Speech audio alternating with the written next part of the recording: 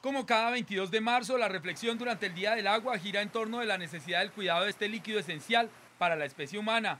Hoy, 2.200 millones de personas viven sin acceso al vital líquido. Sin agua, en efecto, no habría habido vida, ni centros urbanos, ni productividad agrícola, forestal o ganadera. Con todo, este recurso no ha sido cuidado con el esmero y la atención que merece.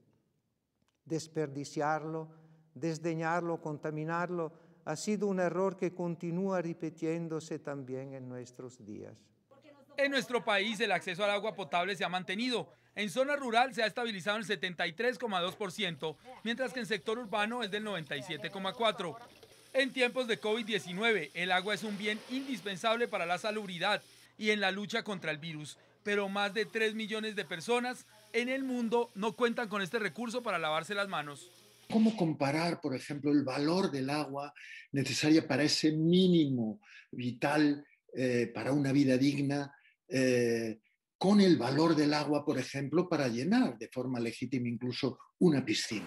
Con el fin de acelerar las iniciativas encaminadas a hacer frente a los desafíos relativos a los recursos hídricos, la Asamblea General de la ONU proclamó la década entre el 2018 y 2028 como el Diseño Internacional para la Acción Agua para el Desarrollo Sostenible.